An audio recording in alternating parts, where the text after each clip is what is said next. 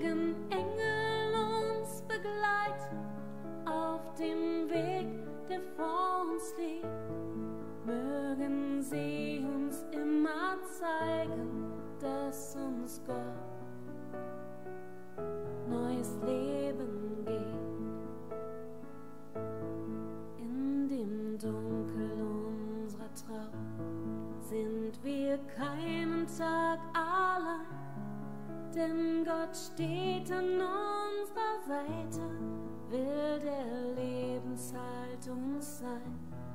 Darum lasst uns nun vertrauen auf die Zukunft, die Gott schenkt.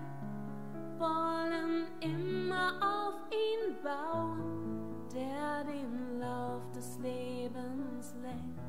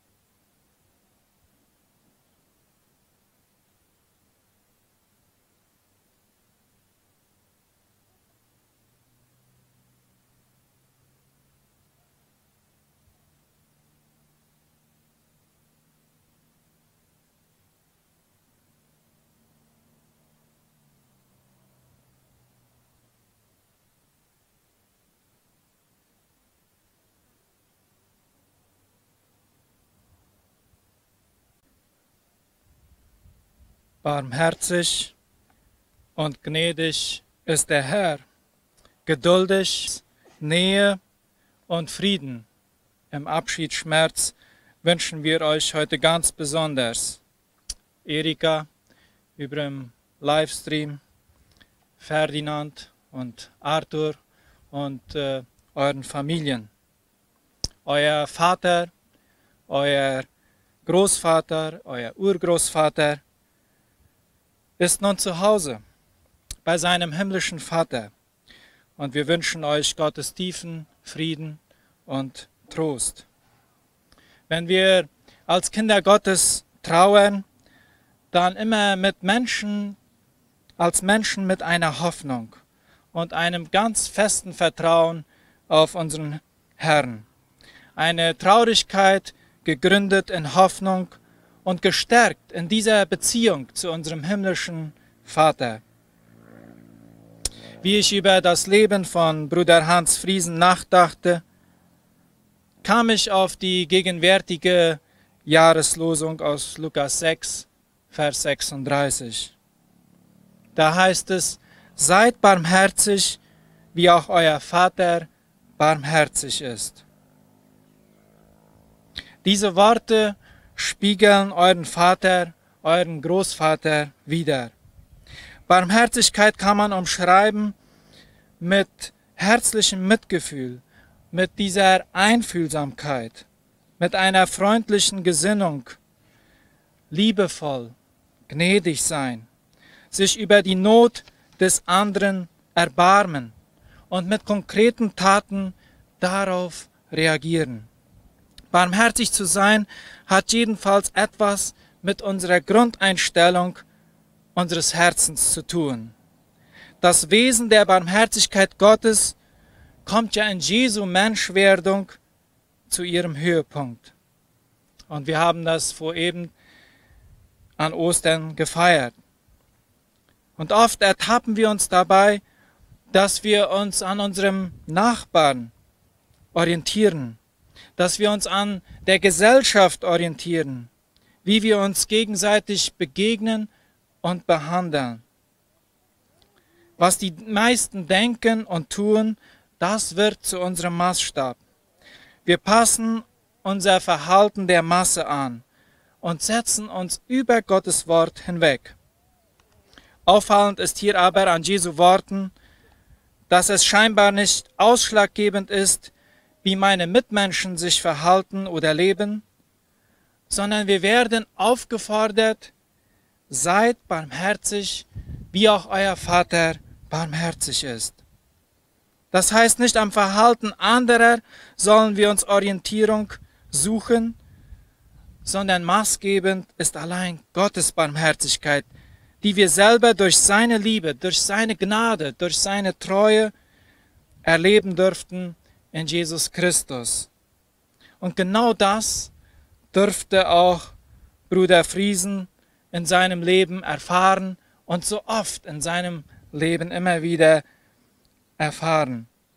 Er war von der Liebe und von der Gnade Gottes ergriffen. Ein barmherziger Mensch ist sich darüber im Klaren, dass er tagtäglich von Gottes Gnade abhängig ist. Was Jesus für mich getan hat, ist immer größer als das, was mir angetan wurde.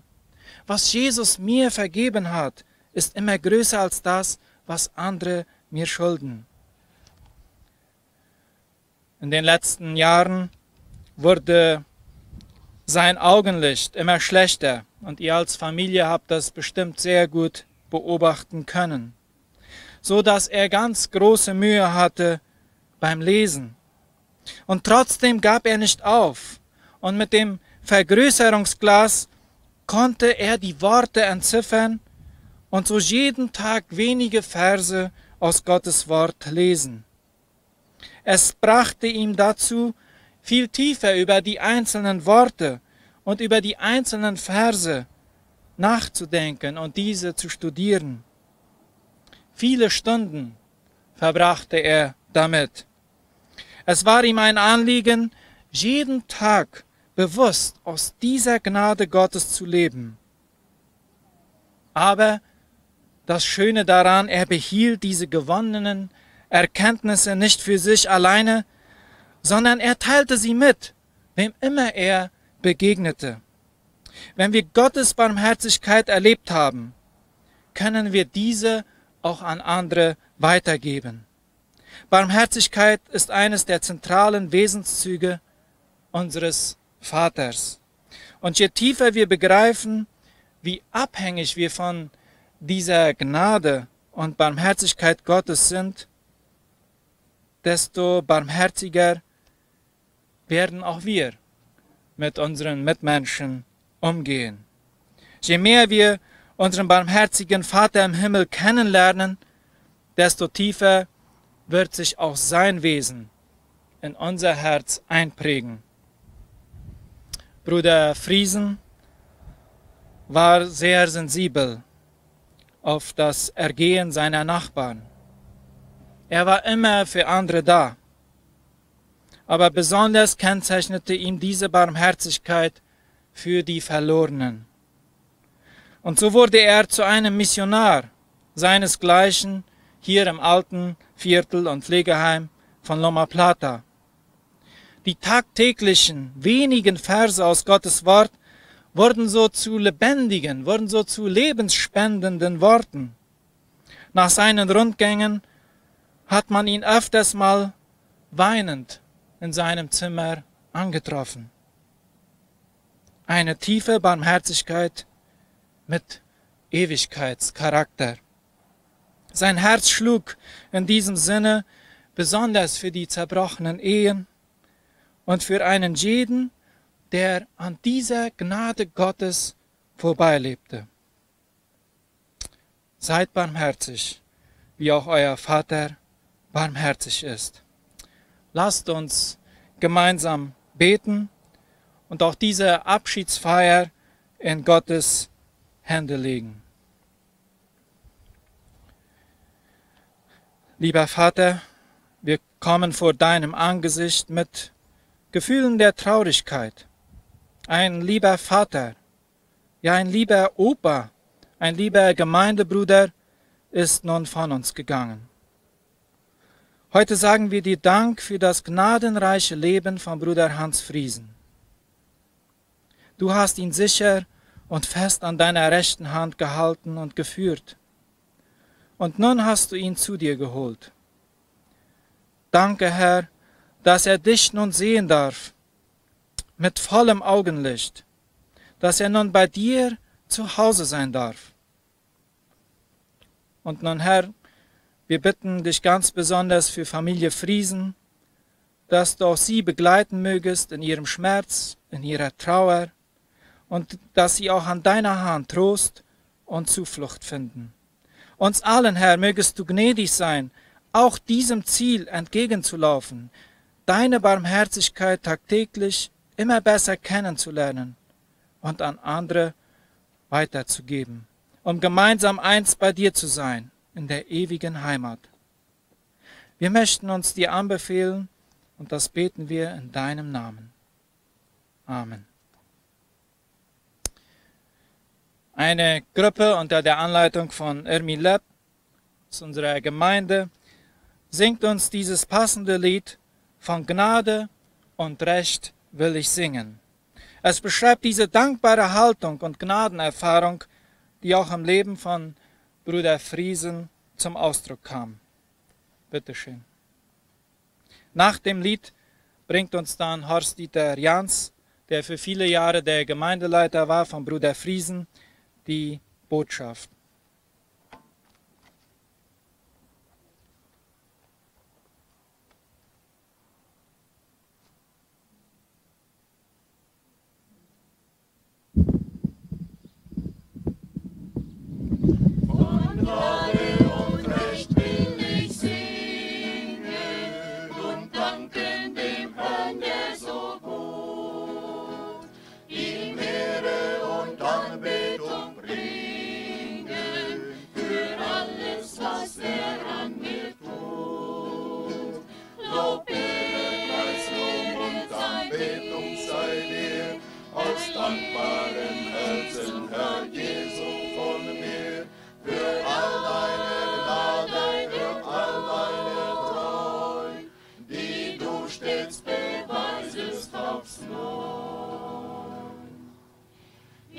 Preis ihn, wenn er ließ sich finden, da er ja mein Elend gesehen.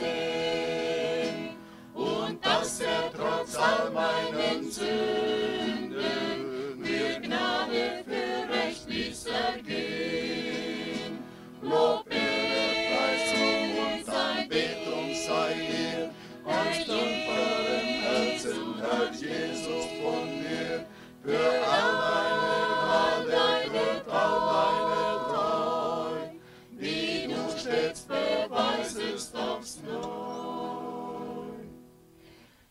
Ich lobe den Herrn für die Bibel, die Schrift aus den himmlischen Höhen. Sie lehrt mich zu meiden das Übel und göttliche Wege zu gehen.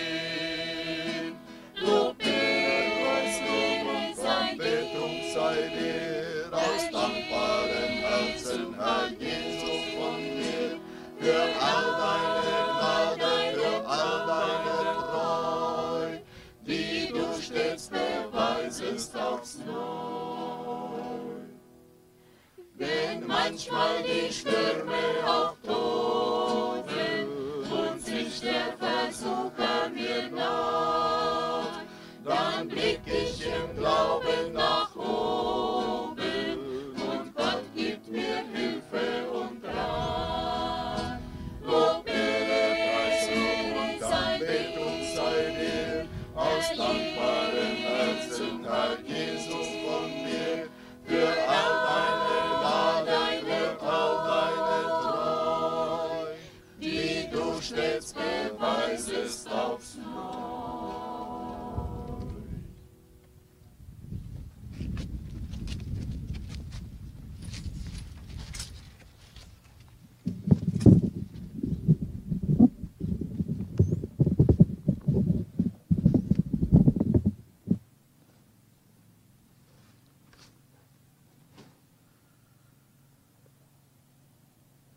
Ja, lieber Ferdinand und Lena, Arthur, Hildi nehme ich mal an, kann uns hören und sehen über die Übertragung. Erika mit Kindern und Großkindern. Euch gilt heute unser Beileid zum Abscheiden eures Vaters. Als ich hier ein paar Worte mit euch gewechselt habe, ähm, als wir hier ankamen, dann äh, vernahm ich so von Arthur, dass er sich freut auf ein Wiedersehen und dachte dabei auch an den Vers des Paulus, wir trauen, aber nicht als solche, die keine Hoffnung haben. Und äh, den möchte ich euch zurufen. Euer Vater durfte 87 Jahre auf dieser Erde leben und manches an Schweren und Schönen durfte er erleben. Und ich finde es schön, dass sein Vermächtnis in einem Buch festgehalten wurde, das, glaube ich, noch vielen auch weiter zum Segen sein wird. Und manches Herz inspiriert, standen, seinen Bruder zu Jesus zu führen und hatte noch nur wenige Zeit vorher mit diesem darüber gesprochen. Er rang mit Gott in diesem Moment und fand Trost und Auftrag in den Worten aus Römer 4, Vers 5. Dem aber, der nicht mit Werken umgeht, glaubt aber den, der die Gottlosen gerecht macht, dem wird sein Glaube gerechnet zur Gerechtigkeit. Dieses Wort hat sein Leben geprägt. Und die Entscheidung, die er in diesem Moment fasste, die sein Leben und wahrscheinlich das Leben eurer ganzen Familie positiv beeinflussen sollte, wurde getroffen. In dieser Zeit, so erzählte er, verstand er, dass Gott von ihm wollte, dass er seine Familie zu Gott führen sollte. Und für mich gibt es einige Parallelen in der Geschichte des Jesua zu dem Leben eures Vaters. Und äh, ja, wenn wir, wenn wir das Leben der Israeliten betrachten, so sehen wir, dass ihre Vorväter in Ur Gott nicht kannten. Und so war es auch zum Teil im Leben von Hans, seinen Eltern. Aber Bruder, Bruder Hans Friesen wurde durch den Tod seines Bruders Jasch vor eine Entscheidung gestellt. Und er traf eine ähnliche Entscheidung wie Jesua. Ich aber und mein Haus, wir wollen dem Herrn dienen. Und wie viel Segen für euch als Familie und viele andere aus dieser Entscheidung herausgewachsen ist, geflossen sind, konnte euer Vater damals nicht ahnen und werden wir vielleicht auch nie wissen. Jesua war einer der wenigen, der von den Israeliten in der Wüste überlebt hatte. Unser Leben gleicht oft einer Wüste, wo so manche Dornen und Disteln sind, wo wir viele Herausforderungen und Widerwärtigkeiten begegnen und äh, wo wir uns entscheiden müssen, wem wir dienen wollen. Wir können dem Ungehorsam verfallen und gottlos leben. Wir können den Götzen unserer Zeit nachlaufen oder wir können uns entscheiden, Jesus Christus zu dienen. Und Jesus Christus sagt, fordert uns auf, wer nicht für mich ist, der ist gegen mich. Ihr könnt nicht auf beiden Seiten tanzen. So hat es Jesua verstanden. Wir müssen uns entscheiden, entweder oder. Jesua und das Volk hatte Kanaan noch nicht eingenommen und es stand noch vor dieser großen Herausforderung und Jesua wusste, ohne dass ich auf Gottes Seite stehe oder umgekehrt, dass Gott auf meiner Seite steht, wird es, werden wir nie in das verheißene Land kommen. Ich muss mich auf die Seite meines Gottes stellen. Und er fordert das Volk dazu auf. 40 Jahre waren sie umhergepilgert und in die Runde gegangen, weil sie im Ungehorsam gegen Gott gelebt hatten. Und so stellt er sie vor diese Entscheidung. Wem wollt ihr dienen? Den Göttern eurer Vorväter oder dem Gott, der euch aus Ägypten herausgeführt hat? Bei mir ist es klar. Ich mit meiner Familie, ich möchte Gott dienen. Das Leben eines Mannes veränderte die Geschichte eines ganzen Volkes. Und so sehe ich das auch bei Bruder Hans Friesen. Das Leben, die Entscheidung dieses Mannes, den er getroffen, die er getroffen hat, war wichtig, damit ihr den Segen Gottes erleben konntet und viele andere auch. Dieses hat einen multiplikatorischen Effekt gehabt und noch viel, er wird noch viele Jahre andauern, durch die Generationen. Das bedeutet nicht, dass euer Vater und Großvater für, für euch das Heil erwerben konnte aber er hat den guten Samen ausgestreut. Jemand hat einmal gesagt, Gott der Vater hat keine Großkinder und Urgroßkinder. Er hat nur Kinder. Und jede Generation muss sich neu entscheiden, ob sie Gottes Kinder sein wollen und dem himmlischen Vater dienen wollen. Die Bibel sagt uns sehr klar, was wir sehen, das werden wir ernten. Und Gott wird uns segnen bis ins tausendste Glied, wenn wir ihm treu folgen. Liebe Familie, wie schon gesagt wurde, euer Vater war ein Evangelist und Seelsorger. Ich wünsche mir mehr solcher Brüder und Schwestern in unseren Gemeinden. So manches Mal erzählte er uns von seinen Besuchen äh, beim Hospital oder auch beim Pflegeheim. Und Gott hat ihn auch in dieser Etappe seines Lebens, wo er hier in Loma Plata schon alleine wohnte, noch großartig gebraucht. Sein froher Mut und seine positive Haltung steckten viele an. Und wir haben ihn sehr gerne gehabt in unserer Gemeinde. Natürlich blieb er ein Mensch. Auch ein fehlerhafter Mensch. Aber er konnte sich der Gnade Christi rühmen, wie wir auf seinem Lebensverzeichnis hier gelesen haben. Er rühmte sich der Gnade Christi, die alle seine Sünden zudeckte und wo er Vergebung für sich finden konnte. Und weil er diese Gnade für sich persönlich so gut verstanden hatte, konnte er so manch einen an diesen frischen Quell führen.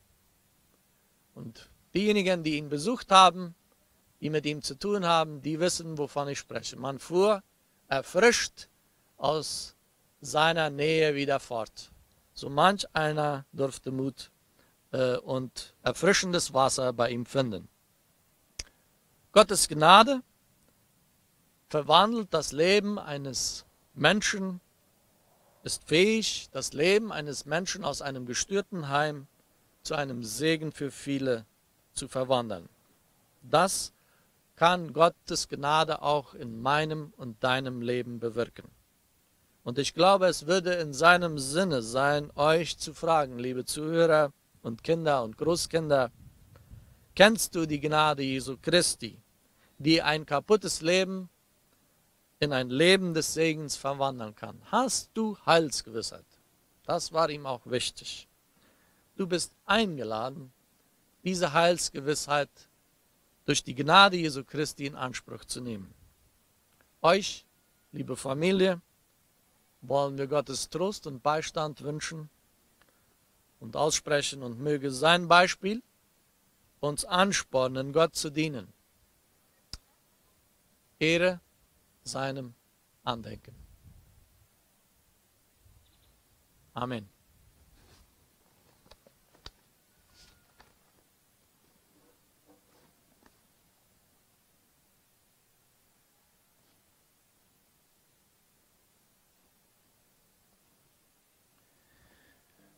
Wir wollen das Lebensverzeichnis. Ja, für uns war es eine wunderschöne Zeit, Geschwister Friesen in Neumölln immer wieder zu besuchen. Sie waren Glieder unserer Gemeinde in Karlsruhe, wo ich Prediger war. Und die herzliche Aufnahme bei Bruder Friesen und bei Onkel Hans und Tante Alma, das wird bei Elsie und bei mir in Erinnerung bleiben. Und ich möchte mich einfach diesen Worten von Horst Dieter anschließen, der das so schön auch ausgesprochen hat. Lebensverzeichnis von Hans Friesen. Hans wurde seinen Eltern Jakob und Susi Friesen als zweites Kind am 3. Januar 1934 in Auhagen, Fernheim, geboren. Hier in Fernheim besuchte er die Volks- und Zentralschule. In seinem Jugendalter half er seinem Vater auf der Estancia. In Neumölln lernte er Alma Bartel kennen, mit der er am 16. Juni 1955 in den Ehestand trat. Ihre wirtschaftliche Existenz bauten sie im Dorf Neumölln auf, wo sie fast 52 Jahre gewohnt haben. Gott schenkte ihnen drei gesunde Kinder, Erika, Ferdinand und Arthur. Am 4. Äh, Februar 1968 ließ er sich auf seinen Glauben an den Herrn Jesus in der Mennoniten-Brüdergemeinde zu Karlsruhe, Fernheim taufen und ließ sich auch zur Mitarbeit heranziehen. Später wurde er Mitglied der Philadelphia Ost MBG in Philadelphia. Seit seiner Taufe lag ihm die Retterliebe für verlorene Menschen auf dem Herzen. Manches von dem kann man in seinem Buch trotz allem gesegnet, was Bruder Horst Dieter schon einmal zeigte, nachlesen. Weiter hatte er die Gelegenheit, 20 Jahre als Volksschullehrer in der Kolonie Menno zu arbeiten. Das hat er mit Interesse und großer Hingabe gemacht. Im Jahre 2007 konnte er seine liebe Alma auf dem Sterbebett begleiten, was ihm auch einen tiefen Frieden brachte. Ein Jahr danach zog er ins Altenviertel von Loma Plata. Hier machte er es sich zur Aufgabe, besonders ältere Leute zu besuchen und für Menschen zu beten. Wir als Familie, so schreiben die Kinder, Wir als Familie haben Vater friedliebend und selbstlos erlebt. Er zeigte große Liebe für seine Kinder, für die Groß- und Urgroßkinder und gab Liebe an andere Menschen weiter. Gott hat ihn mit viel Gesundheit beschenkt. Über Jahre hat er aber mit einem Augenproblem gelebt, was er auch so annehmen konnte und trotzdem dankbar lebte. Vor etwa einem halben Jahr bekam er einen chirurgischen Eingriff, wodurch ihm dann ein anderes Problem entfernt wurde. Gott hat an ihm Wunder getan und das hat er immer wieder erwähnt. Vater war für uns als Familie ein großer Segen. Kurz vor Ostern erkrankte er an Covid und an deren Folgen ist er nach Aussagen des Arztes am 15. April um 19.25 Uhr gestorben. Es war für ihn und für uns als Familie eine schwere Zeit. Jetzt darf er beim Herrn ruhen und Gott sei für seine Führung gepriesen. Im Tode vorangegangen sind seine Eltern, zwei Brüder und seine Ehefrau Alma. Er hinterlässt seine Schwester Erna, seine Kinder Erika, Ferdinand und Lena, Arthur und Hildi sowie zehn Groß- und zehn Urgroßkinder. Als Familie danken wir für jegliche Anteilnahme und für alle Dienste zum, Gelegen, zum Gelingen dieser Abschiedsfeier.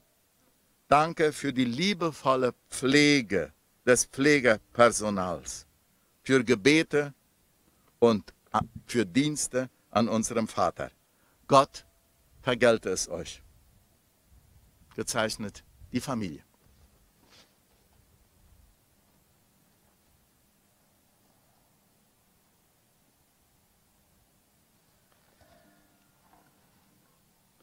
Es sind zwei Grußworte und Beileidsbekundungen eingetroffen, die ich vorlesen möchte.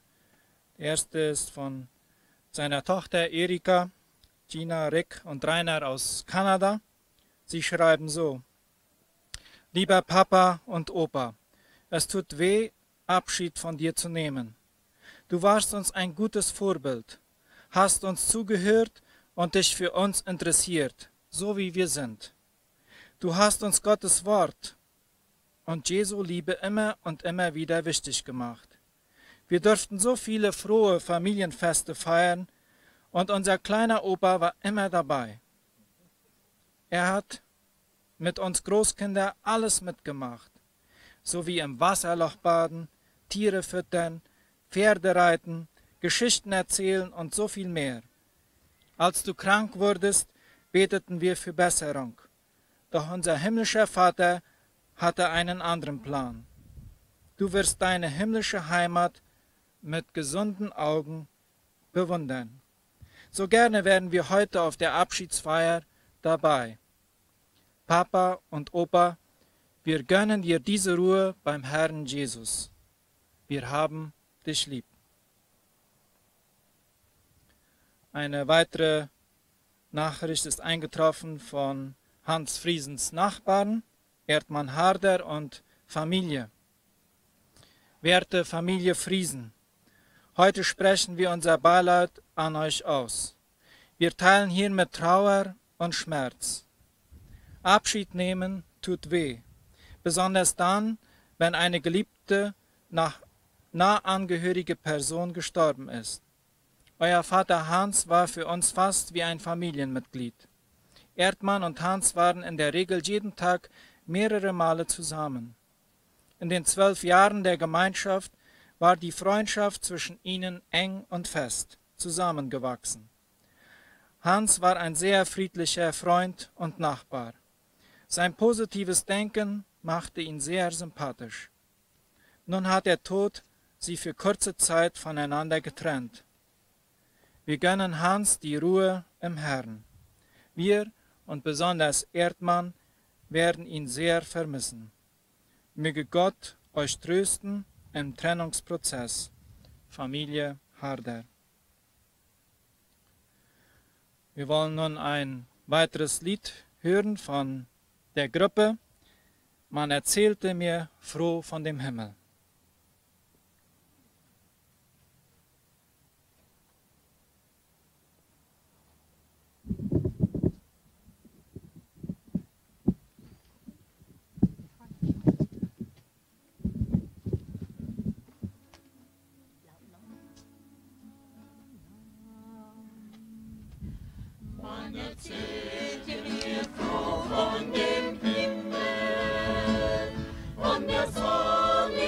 Sátkovtat Robert, hogy izé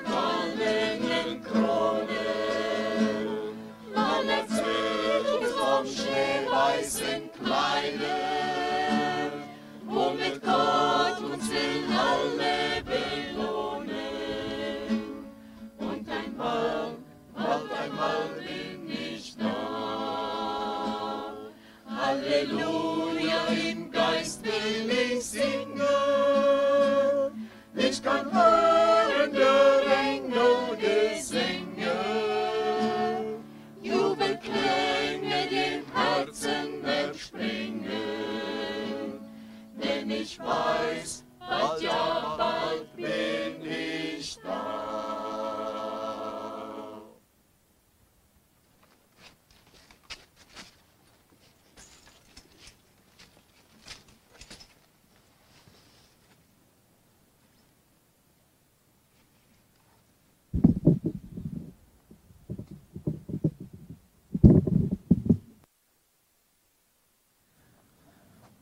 Ja, wir sind somit zum Abschluss dieser Trauerfeier hier angelangt und äh, wir wollen nun rübergehen zu der Leichenschau. Mehrere haben erst am Anfang schon können vorbeischauen, aber könnt gerne noch einmal kommen. Ich lade ein, dass wir hier vorbeiziehen und Abschied nehmen von Bruder Hans Friesen und danach wollen wir da den Sarg endgültig schließen und die Sargträger werden, äh, wir folgen dann den Sargträgern bis zum, zum Grab. Bitte schön, dürft hier vorbeiziehen.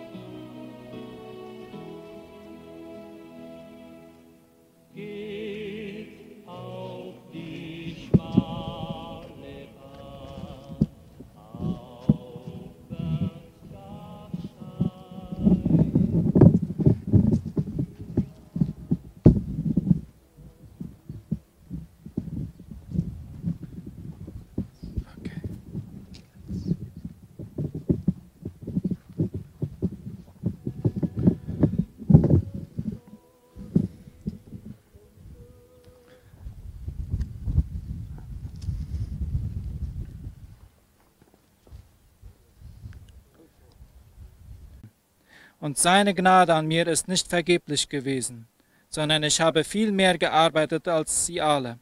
Nicht aber ich, sondern Gottes Gnade, die mit mir ist. Und Psalm 103, da heißt es so einige Verse, Lobe den Herrn meine Seele und was in mir ist, seinen heiligen Namen.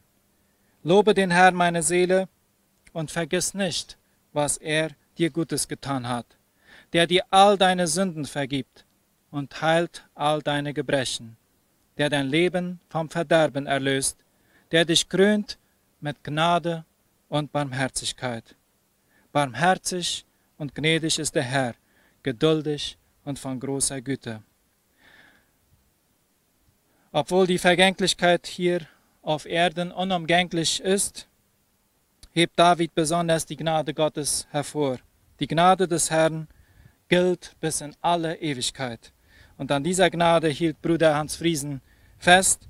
Und auch wir wollen an dieser Gnade und an dieser Hoffnung festhalten, um einst mit ihm in Ewigkeit zu sein. Wir wollen nun den Leichnam dem Schoße der Erde übergeben die Sargträger werden den Sarg herablassen, aber bevor wir es mit Erde füllen, will die Familie, die Großkinder, Gesten des Abschieds Blumen hineinwerfen und, und schaufeln mit Erde. Bitte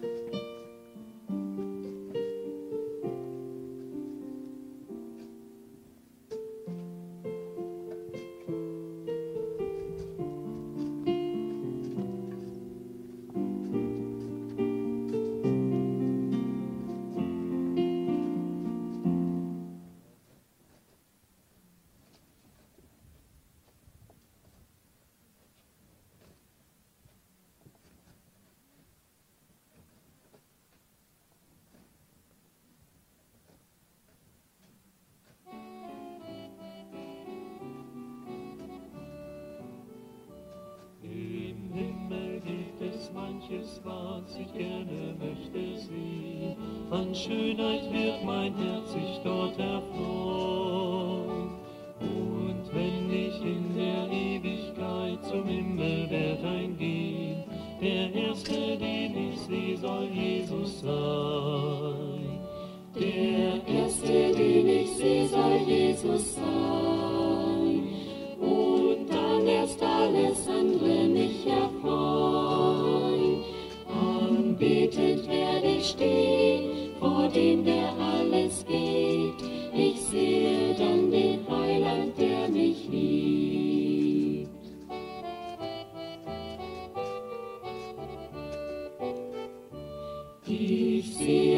Einst das Perlentor, es strahlt so hell und klar. Ich sehe die schöne Wohnung, die dort mein. Ich sehe einst den weißen Thron und auch die Engelschar. Der erste, den ich sehe, soll Jesus sein. Der erste, den ich sehe, soll Jesus sein. Und dann erst alles andere mich erfreuen. Anbetend werde ich stehen,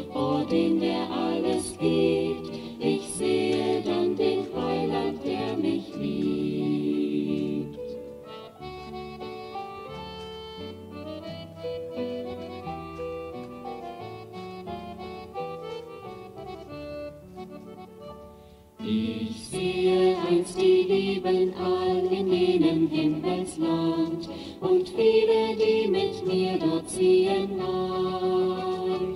So mancher wartet dann auf mich an jenem goldenen Strand. Der erste, den ich sehe, soll Jesus sein. Der erste, den ich sehe, soll Jesus sein. Und dann erst alles andere mich erfreuen. Anbetend werde ich stehen, vor dem, der alles gibt.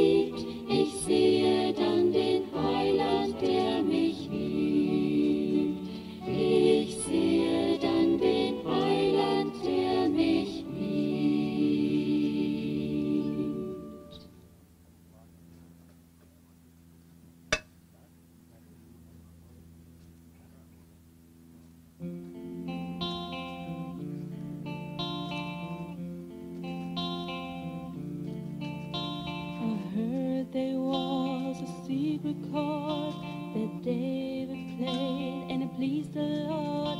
But you don't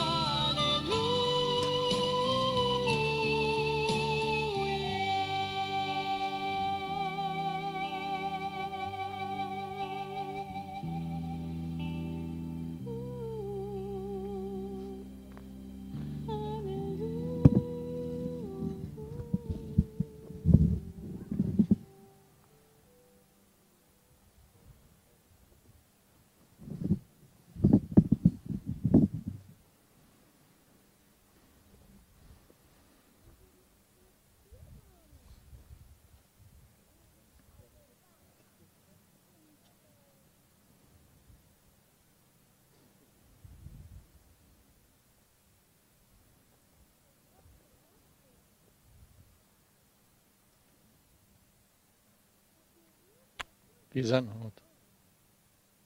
Iza na hod. Jep.